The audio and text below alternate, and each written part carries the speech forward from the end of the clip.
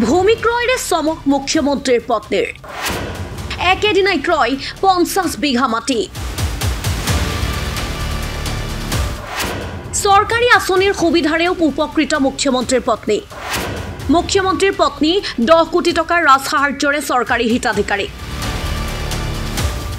ভূমি ক্ৰয়ৰে এক প্ৰকাৰে অভিলেখ ৰচিছে মুখ্যমন্ত্ৰীৰ পৰিয়ালে।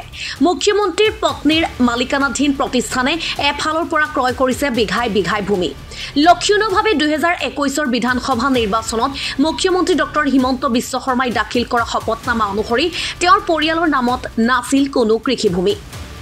শপতনামাত উল্লেখ থকা অনুসৰি পত্নী ৰিণিকী ভূঞা শৰ্মাৰ নামত গুৱাহাটীৰ নুনমাটি আৰু আৰ জি বৰুৱা পথত এটাকৈ আৰু উত্তৰ গুৱাহাটীত দুটা অনা কৃষিভূমিৰ প্লট আছে। কিন্তু ডক্টৰ হিমন্ত বিশ্ব শৰ্মা মুখ্যমন্ত্ৰীৰ আসনত বহাৰ পাছতেই প্ৰাইডিছ এণ্টাৰটেইনমেণ্ট প্ৰাইভেট লিমিটেডৰ হৈ ৰিণিকী ভূঞা শৰ্মাই কলিয়াবৰৰ দাৰিগজি গাঁৱত একেদিনাই ক্ৰয় কৰিছে মুঠ পঞ্চাছ বিঘা দুই কথা ঊনৈছ লেচা মাটি। নগাঁৱত ক্ৰয় কৰা এই পঞ্চাছ বিঘাৰো অধিক কৃষিভূমি উদ্যোগ শ্ৰেণীলৈ পৰিৱৰ্তন কৰি মুখ্যমন্ত্ৰীৰ পত্নীৰ প্ৰতিষ্ঠানে দহ মাহৰ ভিতৰতে উদ্যোগ স্থাপনৰ বাবে দহ কোটি টকাৰ ৰাজ সাহাৰ্য লাভ কৰাৰ ৰহস্যময়ী তথ্যও পোহৰলৈ আহিছে দি ক্ৰছ কাৰেণ্টৰ অনুসন্ধানত। দুহেজাৰ বাইছৰ চাৰি ফেব্ৰুৱাৰী।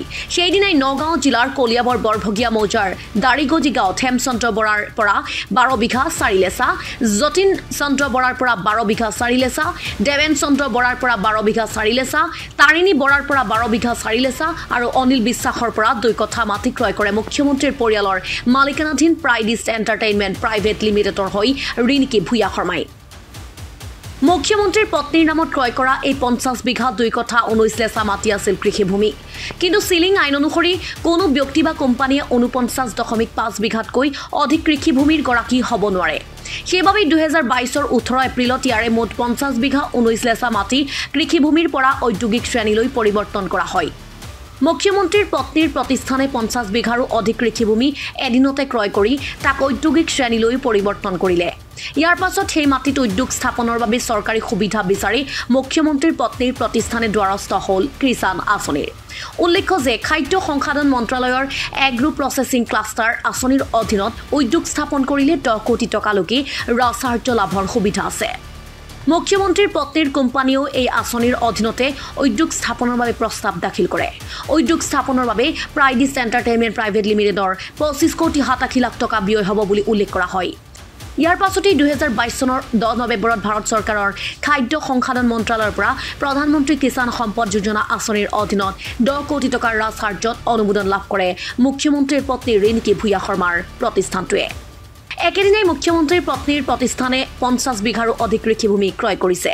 সেই ভূমি কৃষিভূমিৰ পৰা ৰূপান্তৰ কৰিছে ঔদ্যোগিক ভূমিলৈও। কিন্তু মুখ্যমন্ত্ৰীৰ পত্নীৰ নামত থকা এণ্টাৰটেইনমেণ্ট কোম্পানীয়ে খাদ্য সংসাধন উদ্যোগ স্থাপনৰ বাবে কেনেকৈ দহ কোটি টকাৰ সাহাৰ্য লাভ কৰিব পাৰে তাক লৈও এতিয়া প্ৰশ্ন উত্থাপন হৈছে। মাত্ৰ দহ মাহৰ ভিতৰত সম্পূৰ্ণ হয় ভূমি ক্ৰয় ভূমিৰ শ্ৰেণীৰ পৰিৱৰ্তন আৰু ৰাজ সাহাৰ্যত অনুমোদনৰ সমগ্ৰ প্ৰক্ৰিয়া। সেয়াও ৰহস্যৰ বিষয় নহয়নে news X report the cross current